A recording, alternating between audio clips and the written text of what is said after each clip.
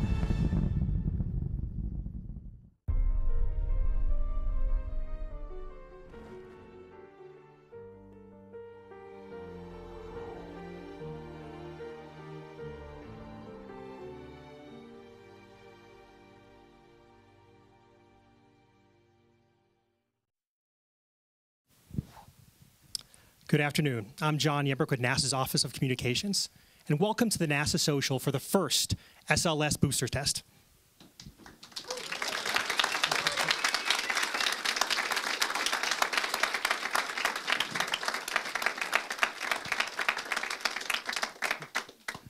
So, what is SLS, or the Space Launch System? It is NASA's next heavy lift vehicle. It is going to be the largest, most powerful rocket we've ever built and it's going to take astronauts further into space than ever before to destinations such as an asteroid, to Mars, and beyond. And what exactly is a NASA Social? A NASA Social is an event that takes the online experience offline, where we invite our social media followers to come out to NASA, go behind the scenes, and share with their friends and followers their experience. And tomorrow, at 9:30 a.m. Mountain Time, 11:30 a.m. Pacific, uh, Eastern Time, rather, uh, right out here, about a mile away uh, from where this we're standing right now, uh, the uh, booster test is going to occur, and it's we're going to fire it up, and it's going to uh, it's going to be a monumental test for us. But tomorrow isn't just about the test; it's also about our journey to Mars. We're going to be we're on a path to Mars right now that is going to take humans. we're developing the capabilities that's going to take humans to Mars in the near future. Uh, to tell us a little bit more about that, we have some panelists here today. They're going to go through and tell us all about the different paths we're doing, uh, including SLS, including our Orion spacecraft, uh, and all the different technologies that are needed to get us there. So tomorrow at uh, our TV broadcast starts at 9 a.m. Mountain Time, 11 a.m.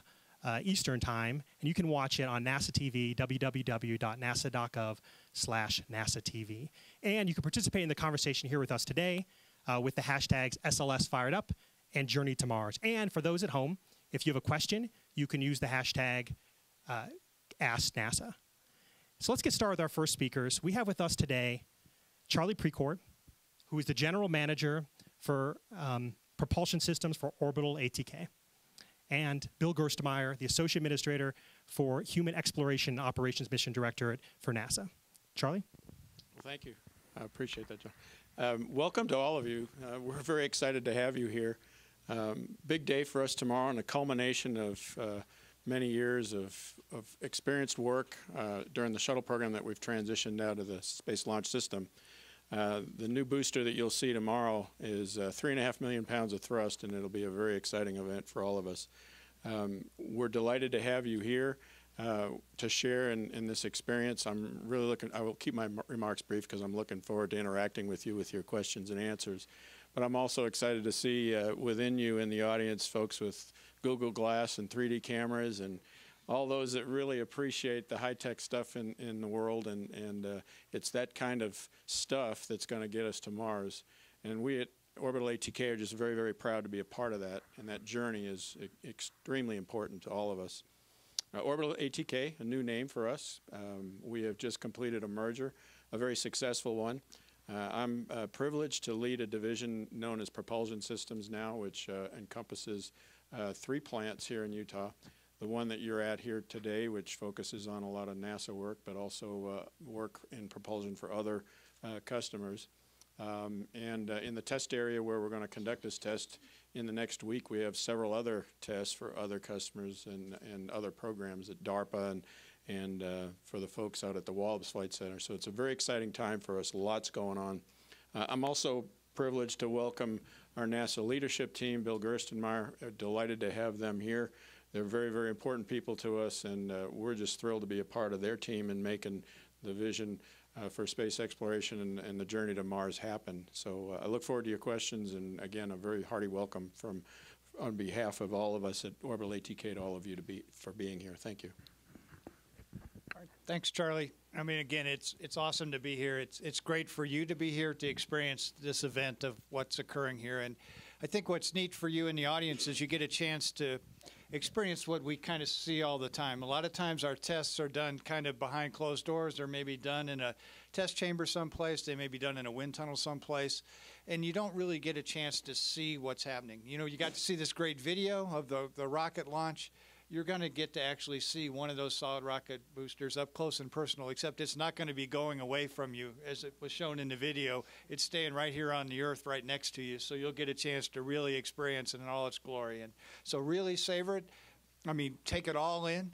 Do it virtually, but also do it physically. You know, feel this, the vibration come through your feet, feel the pressure wave hit you, feel the thermal shock come back from the rocket. Experience that, feel it, and then you are part of the space program. You can do it by being here. You will be a part of it. It won't be just something that you've seen on your screen. You are here, and you're here in a very, very critical test for us. So what this test is, is we have got the rocket out there now in the shake and bake oven, right up to 95 degrees, right? It's, it's nice and toasty. Then we're going to pull the cover back tomorrow, and it's got to stay above that, that temperature. Around 90 degrees is what we want the mean uh, bulk propellant temperature to be, uh, PBMT for those in the know. And so what we want to do is, is then fire the rocket and look at performance. So we'll look at ballistic performance, other things. There's also tremendous amount of instrumentation on this. We'll do a full gimbal profile to look at how the nozzle operates. We'll understand how the insulation performs. We'll understand what the ballistics are, how much thrust comes out of the rocket. All those things will be a key piece. And all this data goes into what we call a qualification motor. So we've done our development firings. Those are behind us. Now we're ready to capture data that will actually go into the calculations that will actually be on the launch vehicle when it's time to go fly. Um, so then I think I just open a couple more, few more remarks, and then I'll open it up for questions. You know, I think we talk about the journey to Mars, and, in, in my thinking, the stress really needs to be on that first word. It's journey. Um, we often get hung up on the destination, but what we're doing here is really a journey. It's going to take a long time for us to get ready to go do this. You, you get a chance to see how much work goes into what we do. So you'll see that this qualification motor firing, there'll be another one at cold temperatures to look at the other extreme. We've got uh, the SLS hardware down at uh, Michoud uh, starting to get assembled. We've got a you know world-class welding facility. We're getting checked out and getting it up to speed. We've got the Orion capsule for the uncrewed test flight in 2018 starting to come together. Those pieces are going down to New Orleans to get welded together. So this isn't like a sprint or an easy thing. This takes a lot of work, a lot of expertise, and and I've had a tremendous day this morning. I got a, chance to go around with Charlie. We got to talk to the folks that actually do all the work here at, at the site and to see their excitement and, and see where their hardware fits and to, to actually your presence here makes a difference to them. They see all these folks coming out making trips from from the East Coast and from West Coast to come here to participate in this activity. This is really something special. So, again, um, tremendous time. Savor it. Learn what you can. Ask us questions, and, and we, we stand ready to, to try to answer any questions you've got. So, with that, I'll, we'll, we'll actually interact and, and see what you got for questions. Great. And for those in the room, please remember to wait for the microphone, state your full name and where you're from. Uh, why don't you start there? Hi. Hi, my name is Angelica Kalika, and I'm from Boulder, Colorado. I was just wondering, what would a failed test look like? Would it just be a poof of smoke and, and some sad music in the background, or, or and and then in contrast to that, what would a very successful test look like? Well, the, the uh, great question. Um, we have been working really hard, so we would determine that you hopefully won't see what a failed test looks like. Um, we, we've had things, failure can range on a large scale. Uh, you can have uh, a delay in the test. We had one of those several years ago. Um, we, uh, every machine that has been built has certain failure modes. We work really, really hard to keep our failure modes from cropping up. Um, what you're going to see in this test is uh, a full duration test, um, a little over two minutes, and it will um, first start up with a, a, a, burst, and then as it stabilizes at full power, we'll start to gimbal the nozzles, and you'll see the plume actually move around and, and dance up and down. Uh, for those of you who haven't seen a test out here before, the other thing we do is the plume is pointed into the hillside, so it actually will pick up dirt, and uh, that's intentional. We want the soil to mix with the exhaust plume to neutralize it so that it's relatively harmless dust when it comes back to the, the surface of the earth. Um, the real uh, success is in collecting the information that we need to go further to be able to put crew on, on the vehicle in a few years. Um, that's where uh, what we're looking for for success is in some 700 odd channels of data that we're collecting uh, pressures, temperatures, vibrations, loads, um, ability of the nozzle to move where we command it, the avionics running correctly. Sometimes we, in, we uh, intentionally put flaws in the motor to see how they'll, they'll perform. We know some of our failure modes are things where the insulation burns through too early. We don't want that to happen. Sometimes we'll put flaws intentionally into the insulation. We're not doing that this time, but over the life of the, the system, we will intentionally flaw the motor to make sure it's robust and we're protected from those kinds of failure modes that you're alluding to. So for us, a successful test tomorrow is full, full duration, getting the, the nozzles to swing, and then collecting all that data to make sure we've got the design right for the next time around. My name is John Hansel. I'm an author and the diving safety officer for the New England Aquarium up in Boston, or over in Boston. Uh, my question to you is what differences, or was there a key difference that happened between the DM uh, development motor stuff to this particular uh, static fire? Is there one big thing that you guys you know picked up and you uh, made changes to? Thank you. Uh, well, so uh, the, the whole sequence is development means you incrementally change things to get to a final configuration that you qualify, and then that qualification proves that you've repeatedly set yourself up for what crew will fly on. And yes, we did incrementally do things uh, with this design. We've got new avionics in it from what used to be on shuttle. They are far more capable than what we had at that program. Uh, they will operate more reliably um, and, and, more capably. Uh, we also changed what's known as the insulator, the material that sits between the wall of the motor uh, casing and the propellant. Because the propellant's burning at about 5,000 degrees, you have to have an insulator in there. And it's a special um, material from a rubber base that ablates and uh, protects the system of, the case from being compromised by the heat. We actually came up with an insulator that uh, pulled a couple thousand pounds of weight out of the total system. Uh, and we had to prove that capability through the DM motors. We ran into a challenge with how we process that insulator that we finally uh, knock on wood, we think we have resolved. I'll let the next panel, probably you'll have uh, some of the program managers more deeply go into that with you if you like. Uh, but to give you an idea, we've, we've improved on a lot of the heritage systems to add new um, capabilities that we know we could fold in technologically so we get better performance out of this. The biggest change, though, is we added a segment which is 25% more propellant for way more performance. Uh, the typical shuttle booster would give you about 3 billion pounds. This is a, a little over 3.5 million pounds of thrust.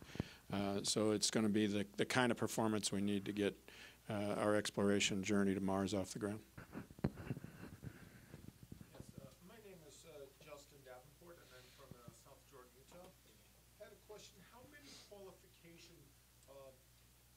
firings are you going to need before SLS flies, and how many do you think you'll do per year afterward?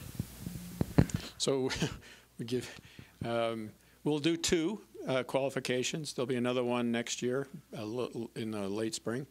Uh, and then uh, we are still determining what the tempo will be for ground tests in the long run. Um, and that has to do with as we ramp up in, and Bill can talk to this, the, the pace that we fly our exploration missions, we will fold in testing as required along the way. You might want to speak to that. Again, I think we've kind of learned from our past experience that it's uh, there's some advantages to actually periodically testing uh, another, uh, doing another test firing, even at a full scale level, because certain things change. If certain products may not be available anymore, we you know we uh, taken asbestos out of the rocket. We may change some material properties. Those things will occur over time, and when enough of those changes are there, I think you would like to go back and do another big full-scale test to go do that. We haven't made a formal plan to do that, but we'll figure out the right pace. And, and where we're trying to get with the SLS rocket is we're trying to fly roughly once a year after we get to the, the crewed flights in the 2020s is, is our overall kind of flight schedule. So um, and we're, you know, we're, we're struggling to see if there's ways to do more, but, but that's kind of where we're thinking, and we're trying to build systems along those lines to support roughly that kind of flight rate. I'm Zach Cromer from St. Louis, Missouri, and I was wondering, um, with the tests for the Ares uh, qualification motors, are there any major changes that differ from the five segments from the Constellation program to the five segments in the SLS program? And will you be uh, using any data from the previous tests um, to advance in the SLS? There were some design changes. This is now a side-mounted strap-on booster as opposed to an inline first stage boost. So a lot of it was structural, the way the vehicle attaches. Um, this has attachment points to the core uh, that didn't exist on the Ares design. Um, there were some uh, other changes that I'll let the next panel get into in more detail because they'll have uh, ability to dive deep with you on that. But uh, fundamentally, by moving from a design that had the booster as a core with the rest of the structure standing on top of it to one that attaches to the side, um, we had to make some changes based on that. Um, and so I'll, I'll leave it at that for now, and the other panel can dive into that more. And yes, sorry, we will we will use not only the data from that program, but all the way back to the beginning of shuttle. One of the things that's important about uh, programs like this is the data you have is really precious because it it, it instructs you as to uh, how things uh, are expected to behave in the future, and it also gives you uh, a ground truth as to why you did things to begin with so that when you encounter a problem like Bill was alluding to with future tests for obsolete materials, uh, process changes, tooling changes, design change needs, uh, we'll know where we came from. We'll know what the starting point was, why we did it the way we did it, and what we can afford to change without messing up the recipe, right? That's the important piece of having all that data from the past. Hi, my name is Emily Bonedrake. I'm a world history teacher at Morris County School of Technology in New Jersey. So instead of a, a science question, more of a history question. Um, we also learn about how technology affects the global political status of the world, how like um, the telegraph, for example, led to the age of imperialism. So do you ever look at sort of the big geopolitical picture, like how this technology could um, evolve into different global politics, whether it's imperialism of Mars or how different countries interact with this science? I don't know. This is so so so Charlie looks She's over. a history teacher. Yeah, teacher. just- This is going down in history. Okay, Do a simulation of imperialism Mars to learning about imperialism of, say, Africa. See, This is, this is a great question, right? That, this is why I'm an engineer, right? I, I, I couldn't pass either English, public speaking, or history. So, so, so we'll, we'll tell you kind of what we're doing. I, what's cool about what we do is, uh, is our business really requires all of us to work together as a team. So there is an unbelievable sense of teamwork in what we do. From from all the folks that are working here on the rocket and getting things ready to go, not one single individual can do these activities. I think it's even the same way internationally. You know, we work a lot on the space station with our international partners. There's 15, 16 countries participating on the International Space Station. And what's interesting is the folks that we work with all really share that same passion for exploration and space and pushing human presence into the solar system. So there's something that, that unites us in a way that um, maybe transcends culture and transcends some of our individual pieces because that challenge that we're working on makes you kind of put aside those differences and find the areas where you can work together and build together as a team and how can you contribute. So so to me there this is the history lesson may be that these challenges that require us as a globe to come together to go work together may drive cooperation to a level that's totally different. You know, today on space station, we're dependent upon the Russians for crew transportation. Some people see that as a bad thing. I don't necessarily see that as a bad thing. This is my teammate. We're in the process of retooling, rebuilding our rockets, getting ready to go fly. So we're going to let them take transportation for a while, and then we'll come back and we'll do it later. We want to end sole reliance so we can have a redundant system in case something doesn't work right, so we want to get there quickly, but we can hand off capability for them for a period of time. Likewise, they need us on space station for power. They get commands through the United States. So we are very mutually dependent upon each other. So that's the best of a, of a cooperation. So I think what we can learn out of spaceflight and learn what we're doing if you think a single nation is going to go to Mars, I don't think that's going to happen. We're, we're going to go to Mars as some international cooperation group. We've already got the Europeans participating with the service module on the Orion capsule.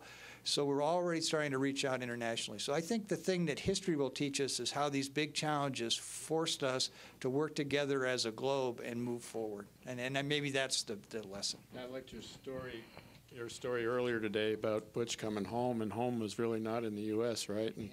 one day we might think about home being the, you know, the cislunar space that we live in. Yeah, what, yeah, what, we, oh, what we talked about today is tomorrow night, right? This is what's exciting, right? I have a team now in, in Kazakhstan ready for our crews to come home. And, and what Charlie and I were talking about was when the crews land in Kazakhstan, they say they're home. And that's really not home, right? Home is here in the U.S., but that is their new home. The surface of the earth is home because they've been on station for six months.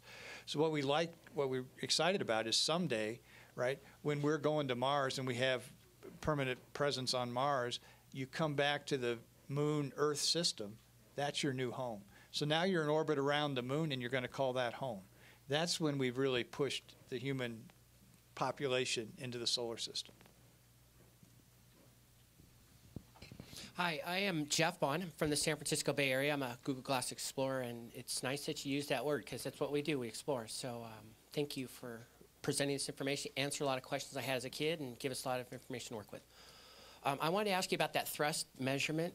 Obviously, the thrust is being generated. So at the opposite end, you have like some gauges that are picking that information up. And I want to ask you specifically, once you start to vector that rocket, you know, two, three, four, up to nine degrees, can you also read exactly that thrust measurement in three axis to kind of make sure you understand that data fully?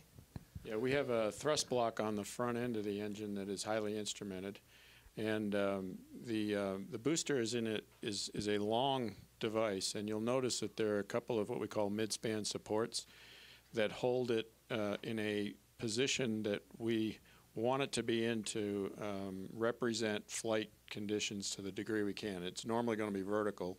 Can't test it that way, so we, we make some compromises.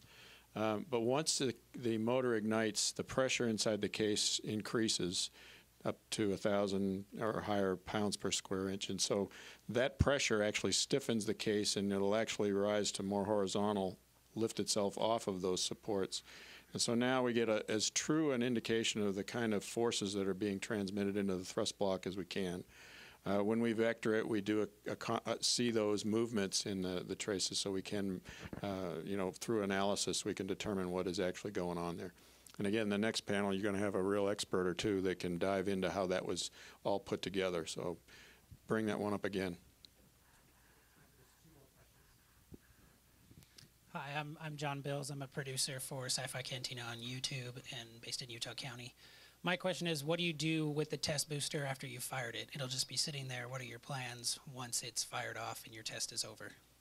Yeah, it's a good question. So the most of the hardware is reusable, um, and uh, what you'll find is um, uh, the cases that make up this booster have been around and recovered and reused since uh, the program began on shuttle. Uh, several of them on the last test I had flown as an astronaut on a few of my shuttle flights. Matter of fact, we still have the, the hardware from the first space shuttle mission, so it's it's made uh, made its its worth in the program by being able to reuse it.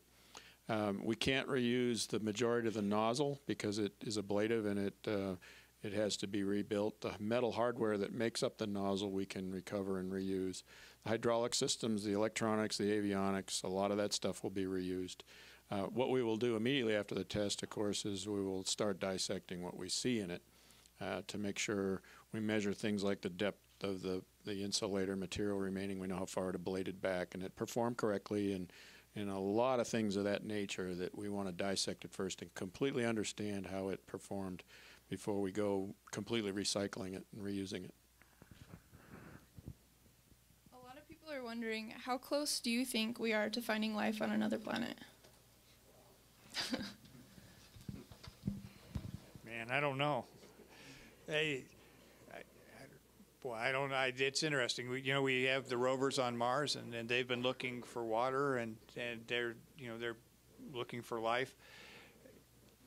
It's an interesting question. It's interesting. It's more of a science question. It's interesting because on human spaceflight, I, I'm kind of specialized, so I'm looking at the other way. How do I move life into the solar system? And then we'll know there's life on Mars when I put crews on the surface of Mars. So then there won't be any debate. So, so I'm trying to actually drive the, the equation the other way. So instead of searching for life, we're trying to put life into the solar system. So.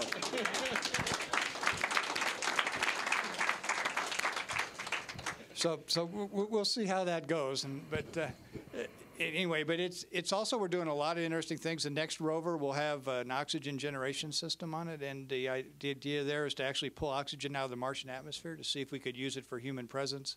The Curiosity rover on Mars today, it has a radiation monitor, so we're monitoring what the radiation is for humans to be on the planet. Um, Mars is a good place to go because it has water for us. It has temperatures that are tolerable almost to us as humans. So it is it is probably the place that we can go that's farthest away that can sustain human life without us having to take everything with us to that to, to Mars. So at NASA, when we talk about the journey, we think of it as three regions, right? We, we call it the Earth reliant region. That's where Space Station is.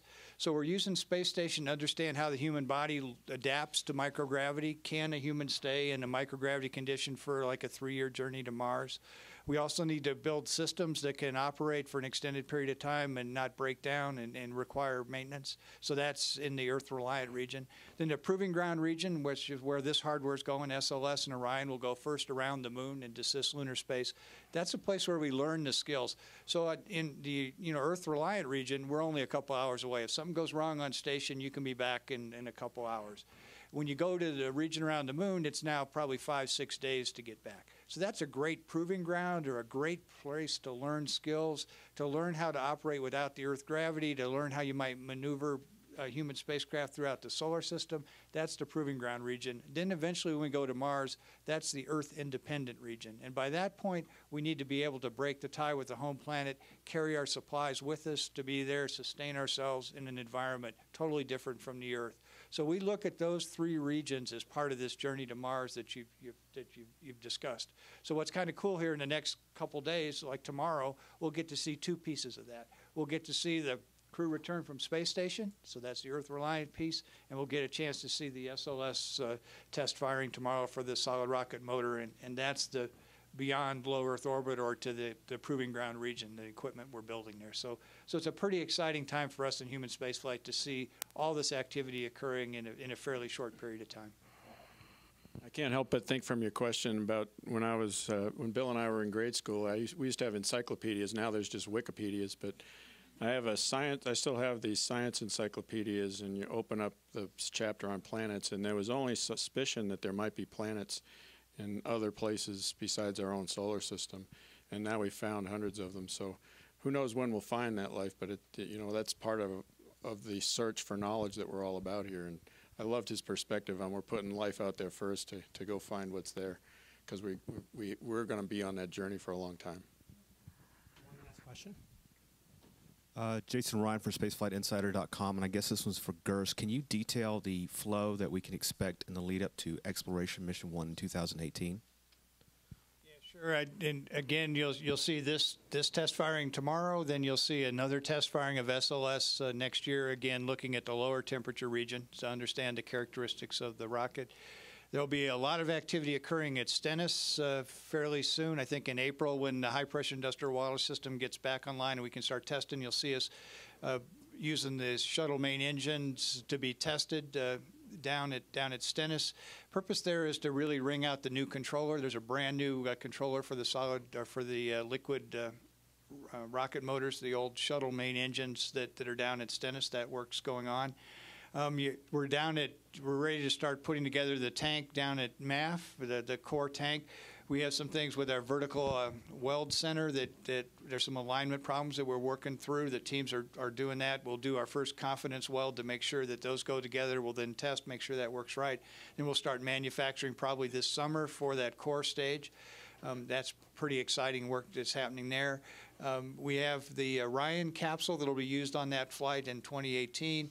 The large aluminum panels are starting to get manufactured at various locations throughout the U.S.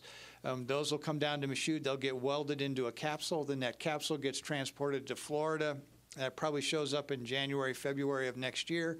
Then that gets outfitted with all the avionics, electronics, all those systems. A heat shield gets added underneath, and then, then we're ready to go do uh, exploration mission one that's that's coming up in 2018. So, what we're going to try to do is we're going to try to do a lot better job of of letting the the public see what we're doing through all these activities. So we're going to try to invite you to more tests to see what we're doing because we haven't done this much development within NASA for a long time. You know, we probably have not done this much development since probably the Apollo era, and maybe a little bit when we were starting to build the shuttle back in the in the 70s. So this is a unique chance for you to see and participate what it takes to get a rocket ready to go fly so you can understand how this, you know, developmental program works, how the qualification program works, and how this hardware all comes together to actually put a human on it. That we're ready and we have enough confidence in this system that when the human's on there, we're ready to go fly. So it's a it's a pretty exciting time overall. And then one other thing I would add too is sometimes we get we get we don't think of human spaceflight in the entire continuum. You know, we're doing commercial crew, so so commercial crew transportation. We've just awarded two contracts to to uh, Boeing and SpaceX. Um, you know, they're going to be flying probably in 2017. So probably the first crewed flights will be to low Earth orbit, the space station by by some commercial companies. And I see this really as all of human spaceflight. So it's not an exploration program and a low Earth orbit program. It's what I described to you. It's an Earth reliant region, it's a proving ground region, and it's an Earth independent region. And that's a continuum of human spaceflight. So I think it's worthwhile to, to watch all these activities, see what's happening. We'll try to share with you as much as we can what's going on. Keep asking questions to us. Keep making us think. You know, you bring a unique perspective. You, you know, we see this all the time. We've grown up in the industry. Some things we take for granted, but a fresh set of eyes, a new perspective is really, really helpful to us. So, so keep thinking. You know, tweet questions, tweet really hard questions to John. John loves these really hard questions. He can't deal with them, so then he sends them to me. I can't deal with them. I send them to the next panel. So, so you get to see us all work here. But, but think of those hard questions and make sure that, that you, you keep us engaged because we want you to be with us on this journey to Mars. So, thanks. Charlie, Bill, thank you.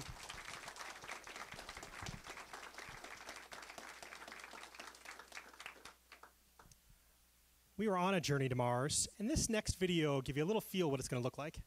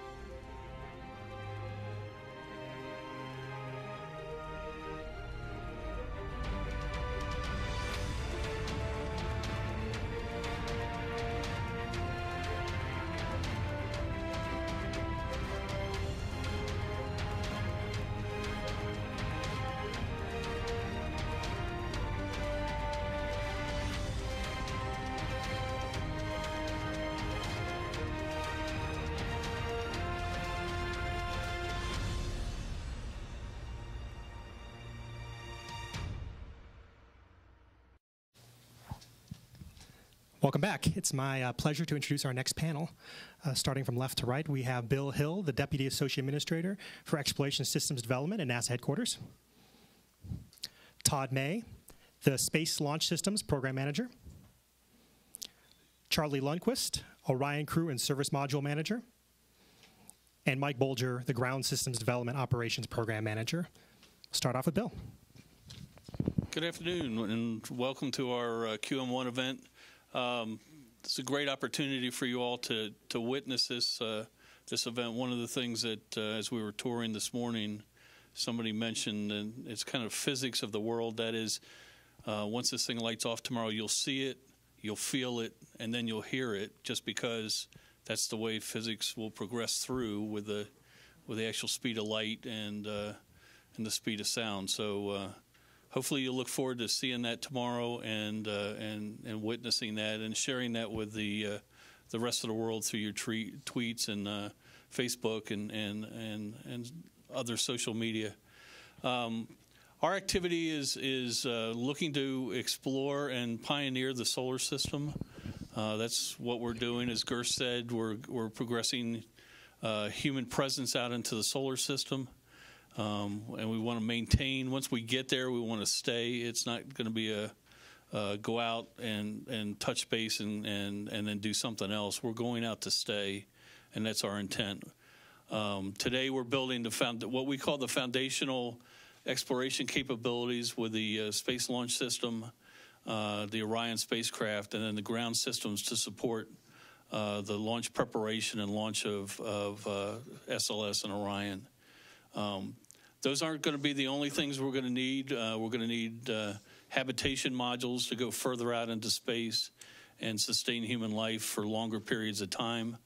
Uh, and as we progress out, we're going to have to learn how to uh, how to live and operate and and provide logistics for um, for our crews as they go deeper and deeper into space. They also have to be more autonomous in their operational uh, capabilities, our crews this is.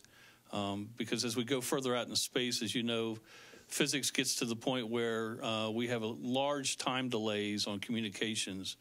Uh, once we get to the to the Martian area, it could be up upwards of uh, of 20 minutes uh, each way. So um, they're going to have to learn how to to be autonomous. We're, we're going to have data feeds back, obviously.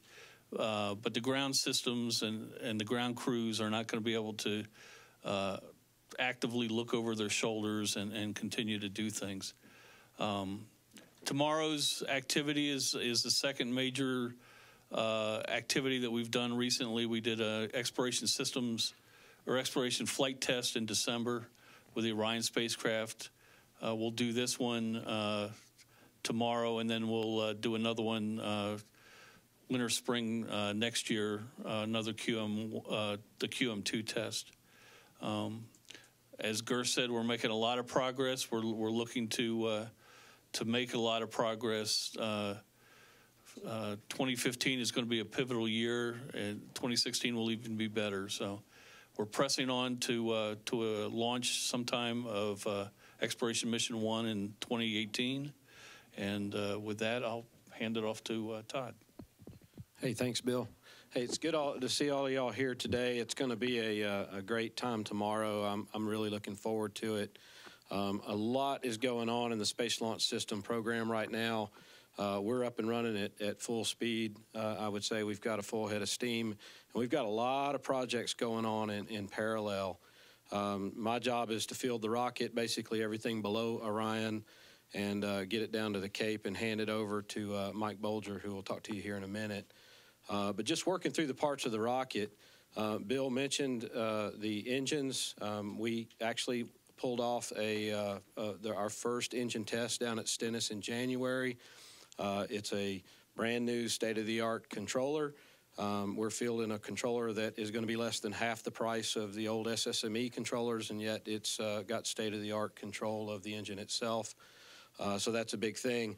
Uh, we've actually taken the facility down for a couple months because we're putting in brand new uh, water lines, and, and, these are very high pressure water lines, and, and they're not small. They're over 90 inches uh, in diameter, and so you got to dig some big holes and uh, replace the lines. But in April, when we come back up, we'll be on a a pretty steady cadence of engine testing. We hope to get about seven done this year. So uh, if you're you're down around that that area, um, listen for a loud boom. Uh, maybe we can host one of these down there.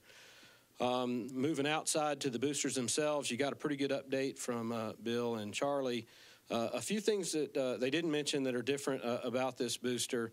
Um, if you if you look closely at the aft attach, um, it's actually lower with respect to the nozzles. We flip that that bottom segment to give ourselves more space because the core is longer than the external tanks. Uh, so if you're paying close attention, little things like that. Uh, up in the top, we used to have um, uh, parachutes and things like that because we used to have a couple of ships that would go out and get them and bring home. Um, we've gotten uh, rid of all that. We're going to let these things go out into the ocean and become reefs at this point. That that lowers the operations cost.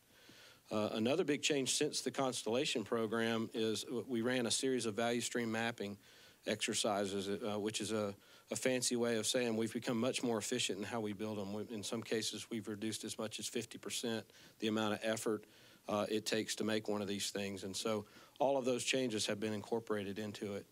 Uh, you heard that this one is a five segment motor. Uh, one of the things we found uh, when we were running the development motor firings is we were getting a little bit of eccentric uh, nozzle erosion. Uh, we think that might have been due to the sag. Uh, you heard Charlie talk about the sag before we pressurized this thing. And so we've added a support in the middle of it to get rid of that sag. And so we hope to see that uh, eccentric erosion go away. So just a couple of little uh, nits to be looking for um, in, when we get this test data. Uh, but the program's going really, really well. They uh, out here in Clearfield, about 50 miles away, they've been testing the new avionics and software systems. They're done testing that now and delivered that to Marshall, uh, where we have a systems integration lab where we test the entire uh, rocket uh, avionics suite there. Um, and they've completed their critical design review, and so they're well into the build phase. Uh, moving to the center of the rocket, uh, a lot of activity going on with the core. Uh, we completed the critical design review last year. Uh, you heard you heard uh, Bill say that uh, we got a lot of hardware down at Michoud right now, over 40,000 square feet. I think some of you NASA social folks got a chance to see some of that this time last year. so that's just a piece of what's going on. That's just the structural pieces. Uh, the avionics boxes are going through qualification all around the country right now. Um, we also have uh, structural test articles being built at Marshall, and these are over 100 feet tall. Uh, one of them is over 200 feet tall. These are strong backs where we'll take these these core segments and actually put them through their paces uh, mechanically. Uh, the Pegasus barge that used to uh, to move the external tank around, we actually had to cut it in half and add about 65 feet. And so now it's longer than a football field because that's what it takes to put the core of the rocket on, and we'll barge that thing over to Stennis. Uh, so a lot of ancillary programs going on with the core as well. Um, we have a lab uh, called uh, the, the Systems Integration Lab where all those avionics are coming in. We've been writing flight software. Uh, we're up to version 10 now and uh, um, we're running that through its testing now. We've got version 11 going through what we call scrums, which are the uh, incremental development of that. The next one beyond that will be the one we actually do when we run the, the, the green run test. Uh, that brings me back to Stennis, where we have the B2 stand. We'll actually take the entire core with all four engines, uh, put it up on top of that B2 stand, and, and run a full mission duration with uh, the four liquid engines at once. And that'll be the loudest noise we've heard uh, in, in engine world, liquid engine world, in 40 years. Um, so come back for that one as well. Uh, but that B2 stand is coming along really well. That's a, a, a, uh, a very big project. If, as you can imagine, you've got to hold that thing down. You've got to stick this core up in the air and, and, and light it and, and light these four engines. Um, and so that's coming along well. Uh, moving up, uh, you see the, the conical section of the rocket where it next down, that's the LVSA. Uh, they have completed their design and are now building the structural test article. Uh, from there up to the bottom of the Orion, you've got the LVSA, Launch Vehicle Stage Adapter. You've got the uh, ICPS, or the Interim Cryogenic Propulsion Stage, which is fancy for a Delta IV upper stage. And then the, the MSA, which is the adapter that attaches it to the Orion. That stack right now, all of those structural test articles are being built. So the tankage for the ICPS is being built, the MSA structural test article is being built, the LVSA structural test article is being built, and all of those will also go into a, a stand and go through its structural testing. Uh, so a lot going on in the pieces of the rocket. Uh, we are about uh, a month and a half away from our critical design review on the entire rocket. Um, that's been a big effort. We've been through three design cycles now, and that's wrapping up.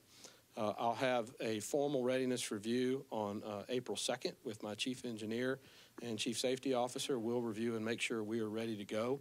Uh, we have a, a, punch list of items we're working through right now, but we feel pretty good uh, about getting into critical design review. Once we get past that, we now consider that the entire vehicle is in verification and build and test uh, phase, which is a big shift in the program. Uh, and we start thinking about making the commitments in terms of delivering everything uh, to our other partners here, um, who will talk to you here in a minute. Um, uh, one interesting thing, uh, just got back from Florida. Uh, Mike will talk a little more about it, but we have a set of tests coming up called LETF, and it's where, if you saw in the video, those swing arms that come out uh, from the rocket and they're attached to the VAB. Um, it looks pretty interesting on the on the video, but I will tell you, um, they're building up the the uh, articles to test that down there right now, and the scale of just those tests blew me away. Uh, it's it's one of those arms is probably one and a half times the width of, of this building. So when you see that thing swing out, it's not just a couple of pixels; it's a big old piece. And so we're building up our our pieces to deliver the plates uh, to uh, to ground systems office, and then they'll perform the testing for us. So uh, a lot going on. So with that, I'll hand it over to uh, Charlie. Okay, thanks, Todd. So I'm going to give you an update on the Orion spacecraft. Orion sits on top of this immensely powerful rocket, uh, and uh, thank you, Todd, for delivering us to space, where uh, Orion will conduct uh, exploration class missions of up to four astronauts uh, for a duration of up to 21 days. Um, so we had a, a, test several months ago called Exploration Flight Test 1 that Bill mentioned, and I'm going to provide an update to you on, on what we learned from that very important test flight. Uh, to refresh your memory, uh, we launched from Kennedy Space Center uh, on a Delta IV Heavy, which lifted us to orbit uh, on December 5th. Uh, the mission lasted four and a half hours. We circled the Earth two times. We went to an apogee, which is the furthest point away from, from the ground, of 3,600 miles. And we came back, we went through the Van belts twice, and that's an area of high ionizing radiation, which was a critical test of our flight avionics systems. And then we came back, re entered the atmosphere at about 20,000 miles per hour, which was a key uh, test of our uh, thermal protection system that protects the astronauts from the extreme heat of reentry. Uh, we experienced about 4,000 degrees Fahrenheit on the heat shield, which is only about one and a half inches thick. And so uh, we got to protect the crew. Uh, they're not very far away from those uh, temperatures. So um, we, uh, we landed fine. The uh, decelerator system performed uh, flawlessly. Uh, the uh, Orion spacecraft touched down in the ocean about uh, 600 miles south of San Diego off the Baja Peninsula, and it was subsequently recovered by Mike and his team. Thank you for that, and brought back to Kennedy Space Center, where we've been undergoing a lot of post-test analysis since then. So um, during the mission, um, the, the spacecraft systems, almost all of them performed uh, nominally. We were very pleased about that. Um, there are over 17 separate uh, separation events controlled by pyrotechnics. Those all performed within microseconds of when they were supposed to, all flawlessly. Uh, I mentioned the heat shield itself. Uh, that heat shield is a very complicated structure comprised of over 300,000 individually gunned uh, honeycomb cells of ablative material. And it seemed to perform quite well. Um, we're actually still studying it uh, as we speak. It was uh, removed from the spacecraft, delivered to uh, Marshall Space Flight Center, where our TPS engineers are, are looking at it as we speak. Um, the, uh, the avionics system uh, did quite well. We didn't uh, undergo any single part interrupts from the ionizing radiation and the uh, decelerator system. Uh, all 11 parachutes deployed nominally, and uh, we actually landed upright, and so we were pretty happy about everything that happened.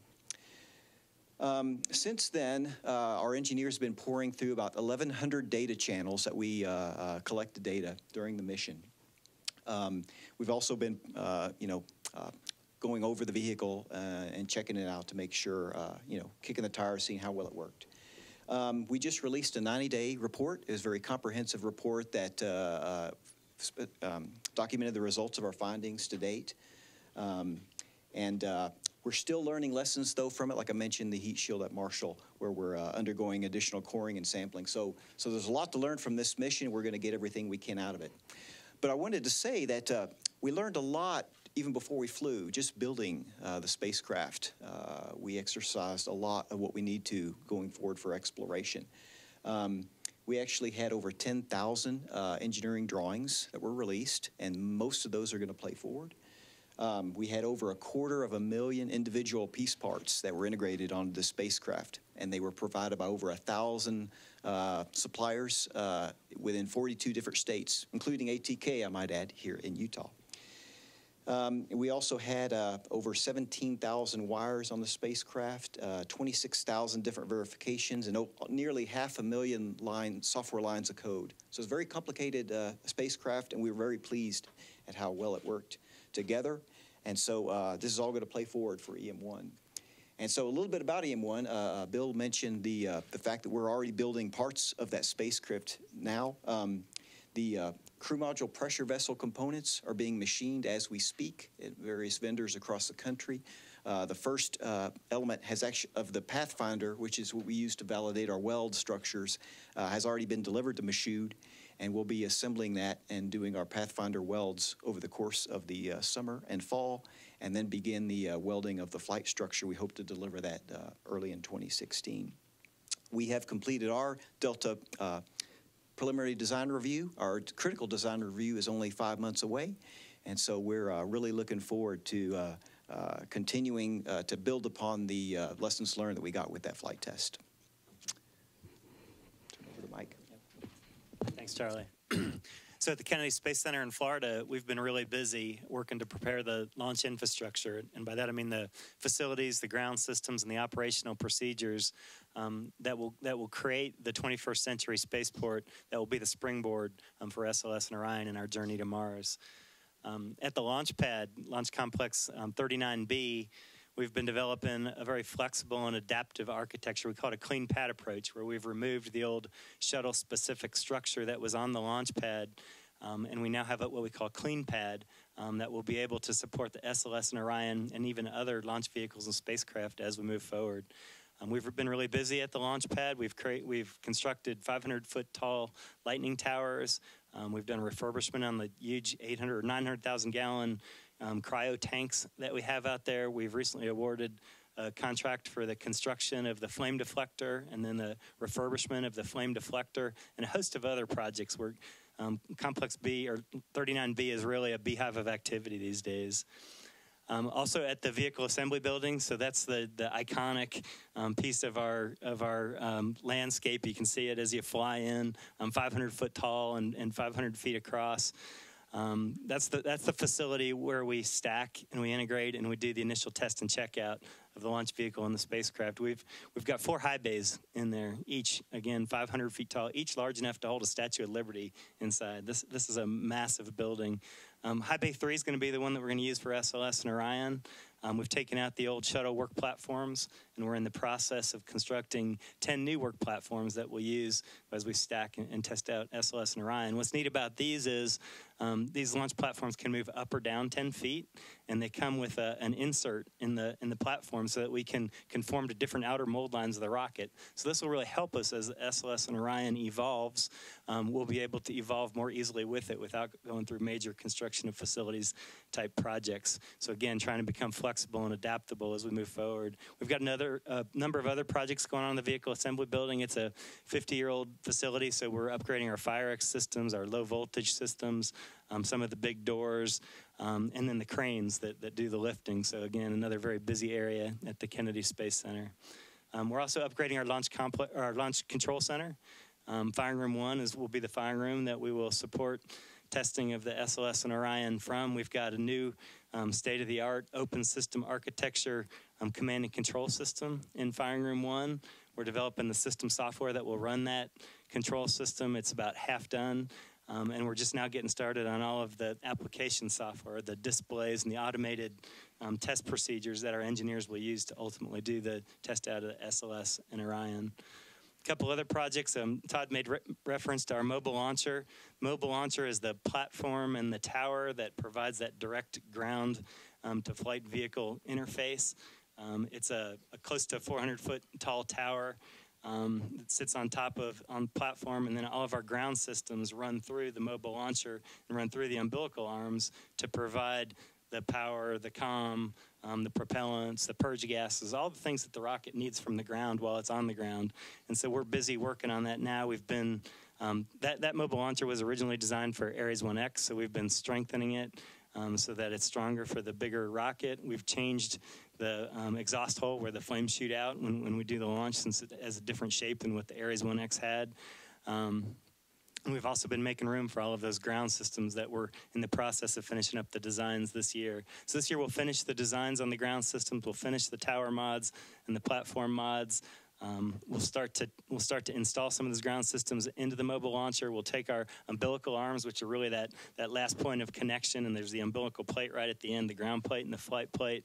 We'll take those over to that launch equipment test facility that Todd mentioned, um, and we'll really run those umbilicals through the wringer, making sure that when we actually go to launch, that they disconnect the way that we expect them to, and that we don't have any issues when we get there. That'll go on for the next couple years, um, and be a really busy and exciting area. Todd talked a little bit about the length of the arms one of the tail service mast umbilicals. You don't get a, always a sense for the scale, just how big this rocket is. But the tail service mast umbilicals are down at the base of the mobile launcher. They're the umbilicals that we do the fueling of the um, liquid cryogenics.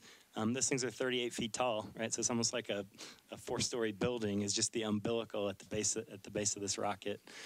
Um, let's see, Crawler Transporter is an asset we've had with us since the Apollo program. It's like a um, it's like a massive tank almost. It's like 115 foot across and 130 feet the other way. It looks like one of those rebel forces in a Star Wars movie. If you've seen some of the tanks in that, um, and and this the Crawler Transporter, we put the mobile launcher and the rocket on top um, in, inside the vehicle assembly building, and we roll out to the launch pad at, at the blazing speed of a half a mile an hour. Um, we, it's, it's a really neat um, work of art in that as you go up the hill on, on complex 39B, um, it has these jacking, equalization, and leveling cylinders that keep the rocket perfectly vertical so that as you go up the hill, we maintain perf perfect ver verticality. We've been doing 20-year life cycle mods on the Crawler Transporter for the last couple years. We just wrapped up roller bearing replacements. Um, we've been working on the gearboxes. We've still got a, some um, work to do on the jacking, equal, equalization, and leveling sensors, or the cylinders, the JEL cylinders, um, but we'll be finishing that up in the next couple of years, and the Crawler Transporter is going to be ready to go. So overall at Kennedy, we're, we're, making tremendous progress. The EFT-1 Orion launch um, was really a morale booster. The whole place was really electric down there. It was exciting and it was fun. It's going to be the same way here tomorrow, and we're excited to be a part of that. Um, each of these tests are so important. They represent, you know, clear and obvious progress to us. Um, they make us realize that our first SLS Orion launch date is coming up soon. We know we've got a lot of work to do. We know it's going to be hard, but it's exciting, and there's nothing we'd rather be doing. Um, and, and when that flight hardware shows up, we're going to be ready at the Kennedy Space Center to process it. Thanks. Mike. Thanks, all. Appreciate it. We have uh, some time for some questions. Remember in the room, if you have a question, to keep your hand raised, uh, stand and state your name of, uh, and wait for the microphone. Uh, for those watching at home, you can use the hashtag AskNASA, and we'll try to get to your question either here or online. So I think we have a first one right at the top front. Yeah, I'm uh, Lee Jensen from Salt Lake City, Utah. I'm a software developer, and so I'm, I'm curious about the uh, avionics systems. A lot of talk has been made about, uh, you know, the upgrades from the heritage systems. And I'm curious, are, are most of the systems these days running on custom ASICs, or is it all like general purpose computer hardware that uh, uh, you guys are just writing custom software for? What, what's the kind of breakdown there?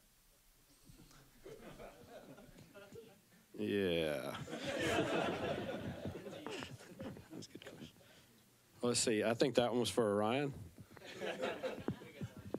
Uh, well, so I'm the hardware guy. Uh, we uh, I know we try to minimize the customization uh, because of the expense. Uh, and so you won't find a lot of the custom ASICs in the Orion architecture. That's probably about all I can tell you on that one. Yeah, on the ground we're running um, IBM servers with an, with IBM flavor of Unix. Um, we, we use COTS where we can, but we do find that we do develop a lot of custom code for our system software, the things that allow us to do the basic command and control and monitoring of the data that comes down. Um, and then we do use um, some COTS tools to help us with the displays that we create um, and also with the scripting, the, the test procedures that we're writing. So it's kind of a mix of both for us on the ground. Yeah, I'd say the same thing. Um, we've got some, uh, a panel that can tell you specifically about the boosters when they get up here, but uh, as far as the core of the rocket itself, um, that's based off uh, a design that's uh, current assets that fly today. Um, and then the ICPS is really a Delta 4 uh, architecture, and uh, and that Delta 4 and Atlas 5 are going to what they call common avionics. And um, in that case, we're we're just kind of uh, letting the contractor lead the way. Um, that's that's the plan that they're going to from a corporate perspective. My name's John Hansel. I'm the uh, diving safety officer for the New England Aquarium, and I'm saying that specifically because, Todd, you had mentioned that um, these new solid rocket boosters won't have parachutes, uh, and therefore I was just wondering about their downrange water landing. Um, is that area like a highly protected area, and also will these things maybe become artificial reefs uh, down the road? Yeah, I think that's probably what's going to happen with them. They'll become uh, artificial reefs at some point, and uh, by the time they get to the bottom of the ocean, they're inert, and uh, and so we actually think we're helping the environment in, in that perspective by creating a reef place for the uh, the underwater creatures to grow.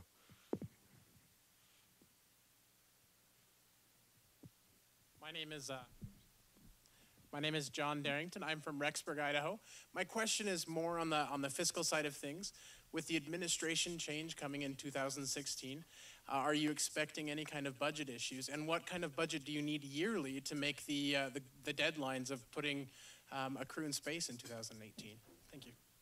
Well, right now we're working um, very closely with Congress and with our, with the administration to uh, to one request money and then uh, get uh, appropriations. We've been very fortunate in the last three years of getting uh, appropriations above what the president's request has been, and that's helped us uh, make more progress, reduce some of the risk, and, and, buy down some of the margin that we uh, we have to launching in 2018.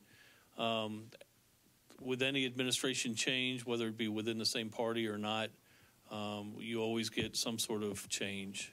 Uh, new administrations want to put their mark on, on different areas. Um, we'll see as we get through 2016 how much in the uh, in the election or in, in the um, uh, campaigns how much space plays a role and how much policy discussion there is relative to what we're doing with exploration.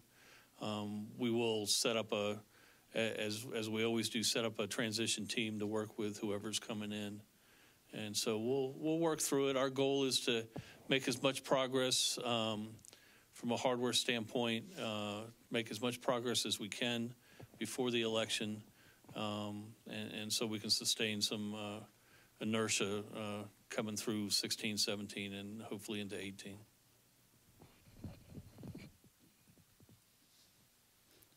Hi, my name is Jessica Zarnowski. I'm from Salt Lake and I'm with the Salty Geek podcast. Um, with mentioning that you're not going to be recovering any of these rockets, what was the decision behind that besides just monetary, and what sort of toxicity testing has gone into on the environmental effects of that? Yeah, so um, the, the decisions were primarily fiscal, um, FIS, uh, CAL, fiscal. Um, the, uh, the idea being that um, we actually have to keep uh, what we used to call the NASA Navy. We had to, we had to keep ships uh, operating. Uh, the parachute operations themselves cost money. Um, I want to say that the number was on the order of uh, higher than $50 million a year just to have that piece of the infrastructure. And uh, being that we had eight flight sets of boosters already at hand, it was a pretty easy decision to make. And um, particularly with the fact that as we move into the future, we're going to look for a, a, new booster that is designed for uh, to be uh, uh, disposable so that we can optimize that for the future. So uh, keeping the operational cost of keeping the parachutes going and the uh, um, the, the, the, NASA Navy going, it was a it was a fairly easy fiscal decision to make.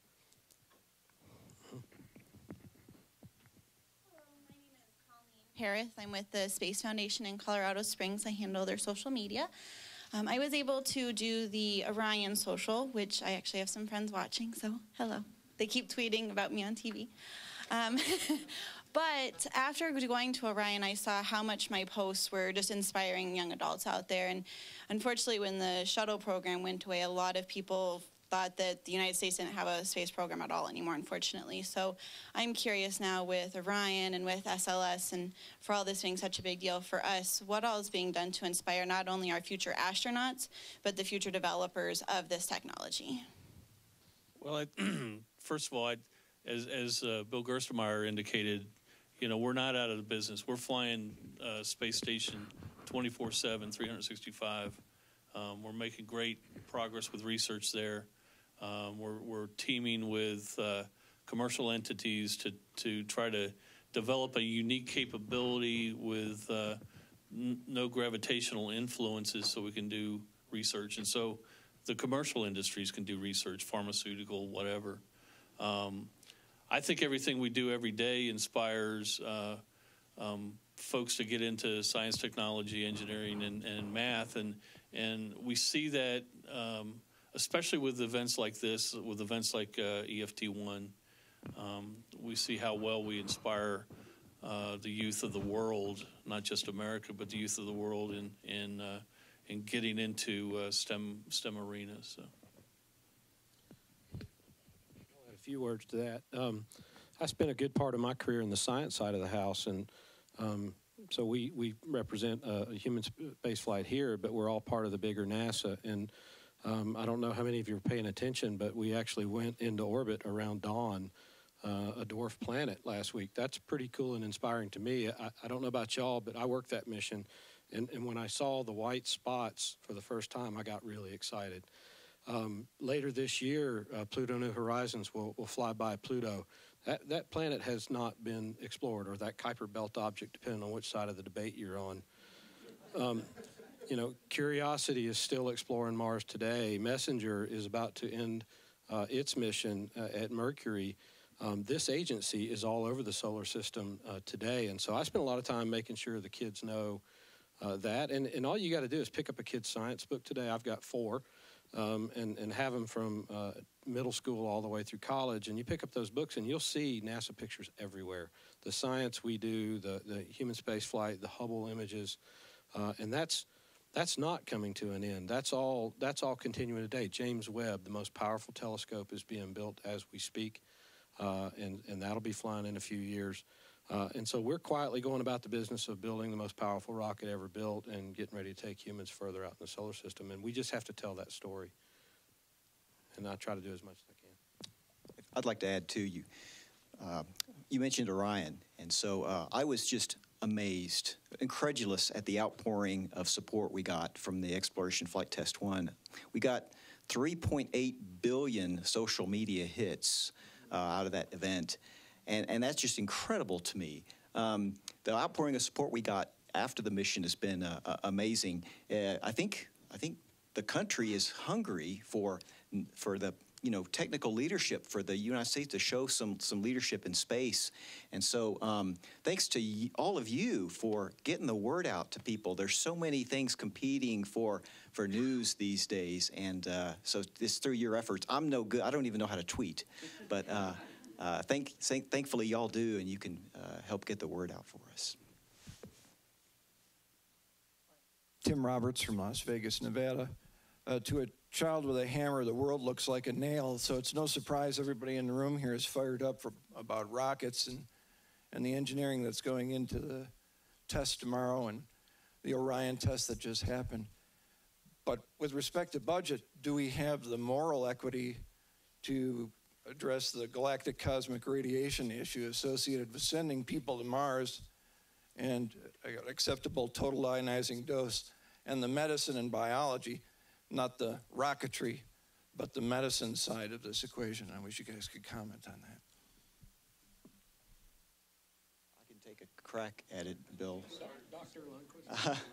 I can take a crack at it. So, uh, ionizing radiation uh, is a, a, big concern for us for deep space ex exploration. Um, we uh, we can shield astronauts, but shielding is ma very mass expensive, and so you know we try to shave every ounce off our spaceship. And so there is a lot of research going on in the Human Research Program. I'm not an expert at it, uh, looking at ways to uh, shield the crew uh, safely and more mass efficiently, as well as uh, certain therapeutics that they can take to uh, minimize their exposure or prevent the, the damage that would incur. it is an area, I, all I can say is a big area. It is an area of concern, and it, it is being uh, taken into consideration in the research program that NASA is doing uh, to, help prepare for going to Mars. Because you are going to critical design review, do you have the shielding you need? Uh, Well, uh, Orion is going to be part of a larger architecture to go to Mars. I mentioned that Orion spacecraft itself, we only have enough expendables to keep four crew alive for about 21 days. So a mission to Mars is going to take years. So we would dock on orbit with a larger infrastructure, and the anticipation would be they would go in this infrastructure where they uh, have the proper shielding for the long mission. Yeah, it'd be a habitation module. You know, our, uh, you know, our, uh, um, our medical community is keenly aware of this. We're working with uh, um, medical ethicists. I think that's the right way to say it on how best to do this. Uh, we may find that it's not ethical to put astronauts out there without the proper shielding. Um, you know, there's a lot of there's a lot of talk about some commercial entities uh, sending folks out there and, and just kind of putting them out there. Um, we're going to make sure we protect our astronauts when, when they go. We're looking at active uh, active radiation protection. We're looking at you know using water encased uh, uh, spacecraft like a habitat. Um, but we're keenly aware of it, and, and we're it is part of the design space. Thank you. You're welcome. Question? Great. Jeff, my back. And thanks again. Todd, I was pleased and pleasured to see uh, Michoud when the final assembly tower for welding got um, opened up. Thanks for that. Um, I heard mention of maybe like a little bit of a welding issue that you're working on and possibly kind of looking at is it alignment or what are you doing there? And can you just explain that a little bit, please? Yeah, yeah, that's a good question, Jeff. So um, this is uh, the, the vertical assembly center. This is where we take all the pieces of the rocket and we put them together to form the core of the rocket itself structurally. Uh, so we've actually performed confidence welding on the on the machine. We know it can perform a good weld, um, but we have the tower is 217 feet tall, and uh, the kind of accuracy we're we're looking for um, is a gnat's eyelash kind of uh, accuracy. And so when we went to start moving up for the larger uh, pieces, we found some alignment in some of the vertical plates um, that need adjusting. And so uh, we put a team together. Um, we're going to have to actually do some dis- disassembly of the of the top ring, uh, loosen up the other two rings, and take those uh, vertical plates and actually adjust them back to the left a little bit. Uh, we think we now have a pretty robust plan to get that back into shape. Um, but we want to get it right because um, this is a thing that's going to uh, be welding up these tanks for a generation, and so we're going to take our time and make sure we get it right. Good question. Next, we're gonna next we're gonna be talking about our test tomorrow. But first, let's roll a video on boosters.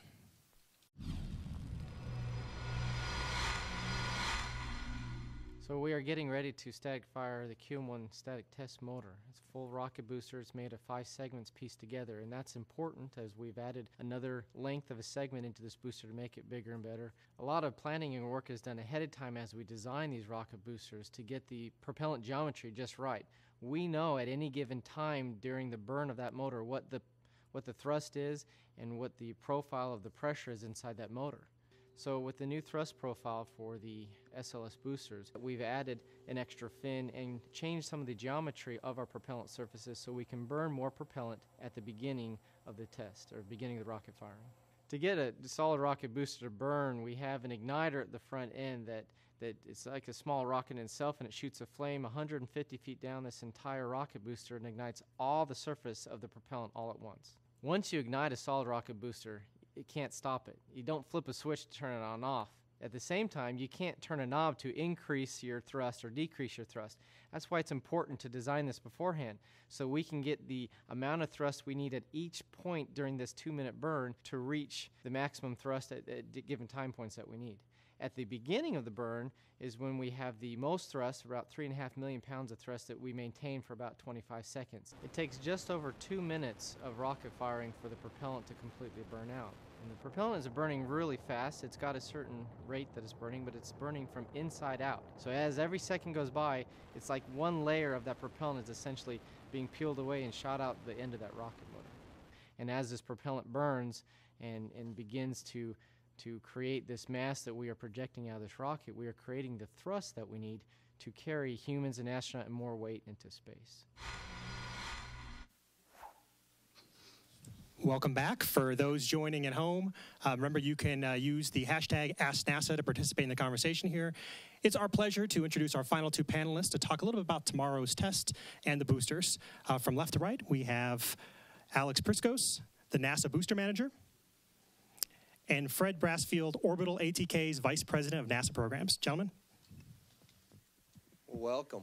Thanks for joining us. I, I'll, I'll tell you, several of us have been looking forward to, to years for, for, for this day. It's been busy leading up to here. I'd like to take a few seconds just to back up and, and talk about where we've been and, and, what tomorrow means in, in that context.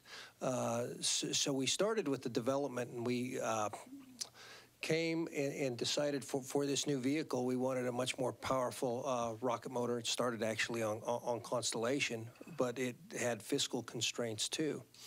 And so I use the analogy of a, a, a race car. Uh, what we basically did was we, we, we took the chassis and in the body and, and kind of used what we had from a heritage perspective, and we have, have really um, uh, opened the hood and we've made changes, major changes, and, and also tweaks to the to the engine for, for, for performance and and other uh, uh, factors. Uh, so, so we've we've changed a bunch under uh, under the hood of this, and as you heard earlier, uh, uh, from a thrust perspective, this thing produces about 3.6 million pounds of thrust. It, it produces about 22 million horsepower. So just just to put that in perspective, that's about 14 747s all going at the same time, and that's one booster.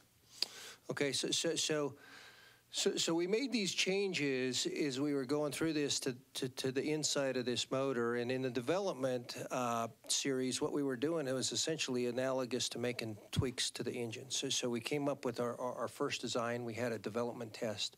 We then went and refined it we, we essentially ran it like, like, you would around the test lab, uh, made some tweaks, did it again, and we've done that three times to where we're, we're pretty satisfied now. We got exactly what we want, and what we're about to do tomorrow is go do the, the, the first qualifying lap.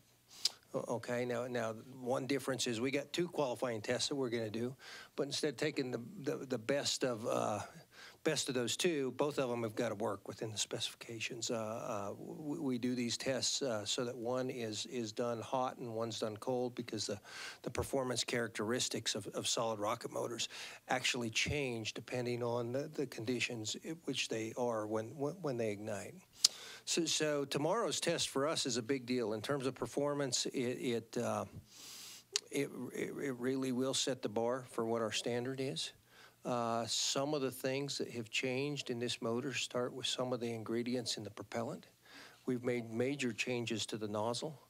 Uh, uh, the whole avionics system, as you guys have heard, has been modern, modernized. Uh, uh, one of the things that we ran into in this program, there have been a, a, a few minor things that we weren't suspecting, and, and, one was as you get into a vehicle like this, you you analyze and assess loads. And what we found out is the loads on this vehicle were a little higher than they were on shuttle. And so one of the things on the forward skirt where we attach to the vehicle, and that's where all that thrust is taken out, it's all taken out in that forward structure.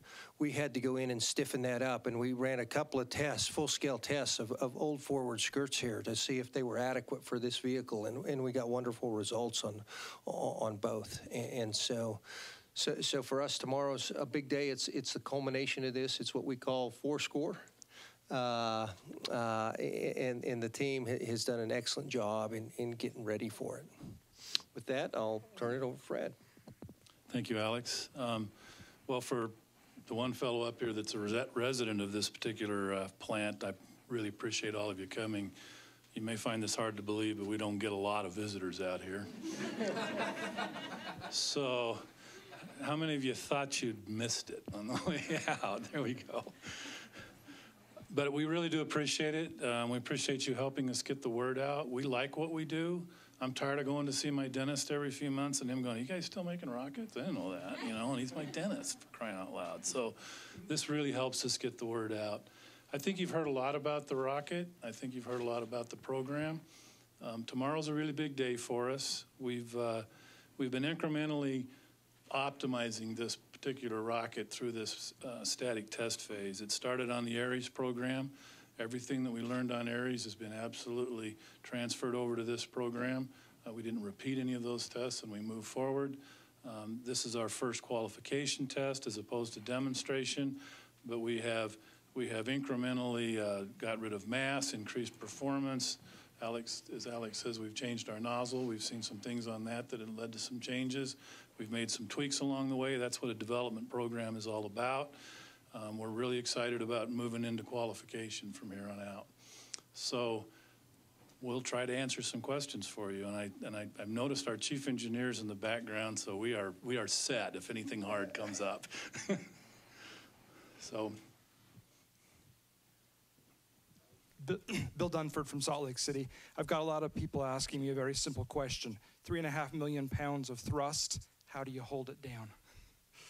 It's, it's got a, that, that's a really good question, and everybody normally asks that. It, it, it's got a very large thrust block uh, at the front of the test stand that, that Charlie Precourt uh, referred to. What you can't see is there's a large concrete infrastructure underneath the test stand itself. And then there's a spider-like takeout structure on the front that helps us um, measure the aforementioned thrust. But it, it is a large, solid structure. And it was, in fact, reinforced and, and modified for this particular vehicle. It was used for shuttle testing for years. But with the additional Go Power, we've made some changes as well. Hi, my name is Spencer Burgos, and I'm tweeting from Envision EXP. And I have some followers that are just asking what, what type of engineers worked on the this type of rocket because they're young adolescents and students. So they're trying to figure out what sort of career path they should go into they want to work on these types of projects. Yeah, let me let me start. This is fun, and it's it's one I love to talk about because uh, been in this business for a long, long time, over 30 years, and, and the number of, of skills that it takes to pull something like this off is incredible. Uh, we got engineers that that, that uh, sp- specialize in all different facets of engineering, from chemical engineers to, to thermal experts to mechanical engineers to, uh, to, to uh, electrical engineers that do avionics systems. And so we touch almost every facet of engineering, as, as well as is some that are, are, closer to the basic sciences. So, so the breadth of skills that we have to pull in to, to pull a project like this off is, is, is really amazing. And it's not this type type or that type. It's, it's a compilation of almost every type. Hi, Jeff Bond from the San Francisco Bay Area. And you had talked about the blocks up at the front that were going to be basically grabbing all that. Are those the failed blocks we saw over at that building earlier that were starting, the metal was starting to fatigue? Are those the ones that are catching almost four million pounds of thrust? Post that you were looking yeah, at? Yeah, is it almost four million pounds of thrust? Yes. Yes, the, the, all the thrust that, that comes out of this vehicle comes out at, at, at, that takeout. The, the, it's also attached at the aft, but the aft swivels and allows for compliance of the rest of the vehicle. So all the thrust is taken out at that forward thrust post, and that's probably the, the, the mechanism that you saw that we failed two of those earlier this year on intentionally. Very impressive. Yeah. Uh, John Hansel, an author from Boston. Um, I actually am going to ask a question that was asked during our tour today, um, but but now I think we'll be able to get the answer uh, for this one in specific. The the system that articulates the nozzle is that a closed or open system? Is that a hydraulic system, or what what actually mechanism uh, moves the nozzle around? Well, it's, David's smiling because he, he understands this better than all of us in the room, but it's a hydraulic system. But but it's it's more fascinating than that, right? It, it, it, it's all. It's really a, a, small liquid rocket system that's powered by hydrazine. Okay, that powers some turbo pumps and, and then a hydraulic system. It's probably one of the more complicated pieces on, on, this booster, and it is a heritage system. Our, our controllers and the, the, avionics that we use to control it, a lot of that's been upgraded, but this TVC system pretty much is the is the system that flew on shuttle.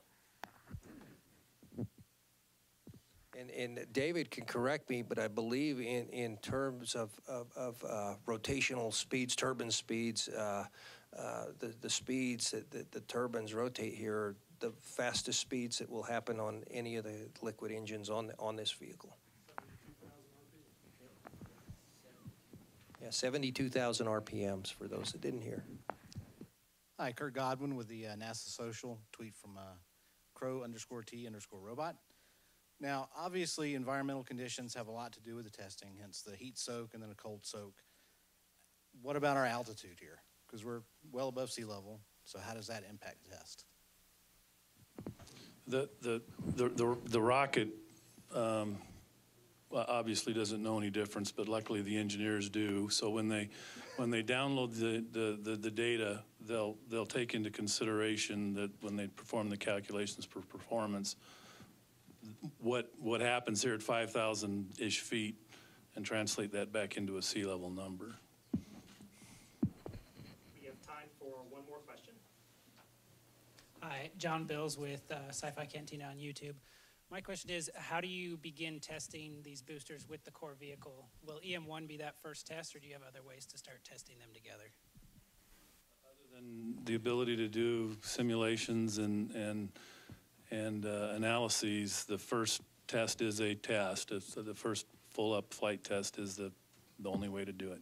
So, so we do have one uh, structural test plan that's called a, a modal test. A- And so we will put the vehicle together and, and we will go, go do some, some modal testing of it just to understand how the, how the various structures interplay with each other.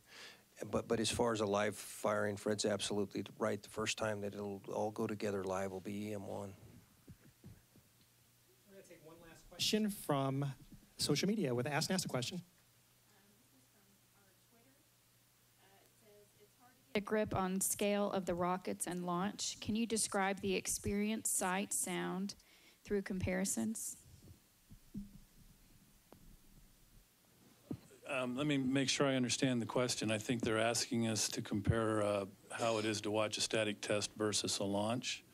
Um, if they're asking how it was during the launch, I wish Charlie was still here since he, he wrote a few. But um, there's no there's there's no denying that a launch is is for me personally pretty hard to beat. Um, but what you'll see tomorrow, for those of you who haven't seen it, is you'll get the full force for two minutes. It's not going anywhere.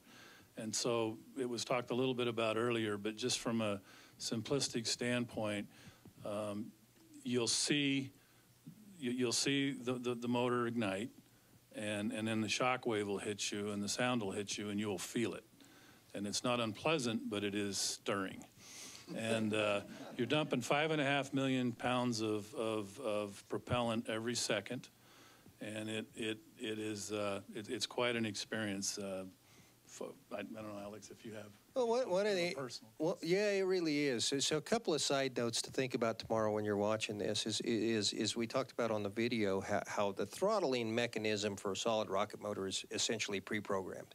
You do it by the geometry of the grain, the propellant. That, that that's how you do it. So one of the real interesting things as you're watching this look look, at the exhaust coming out of the nozzle and also pay attention to the sound and, and, and see what you think may be going on in terms of that throttling because we hit it real hard and then when, when we hit max dynamic pressure on the vehicle we cut way way back uh, to reduce that force on the vehicle and, and then we hit it hard again so, so so so use your ears use your eyes see what you can figure out's going on but like fred said the neat part about this versus a launch i- i- is you get to hear those things because by the time this is happening in a launch, it's it's a long ways away, and you can't you can't discern the, the, those subtleties. Uh, the other thing I'd, I'd like to say is is there are differences between hot and cold tests. In, in a hot test, we'll burn a little faster. So normally we'd be looking for a nominal burn time of, of about 126 seconds.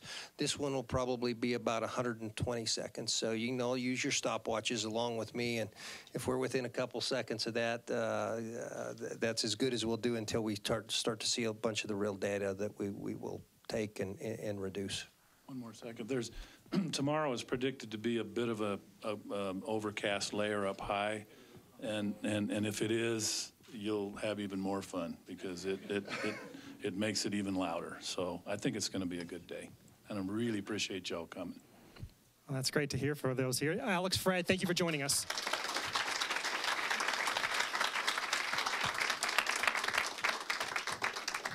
And for those at home, don't forget to tune in tomorrow. You can watch the firing, uh, test firing live on NASA television, www.nasa.gov slash NASA TV. The broadcast starts at 9 a.m. Um, Mountain Time, 11 a.m. Eastern Time. And you can also follow the conversation on social media with the hashtags SLS Fired Up and Journey to Mars. Thanks for joining us.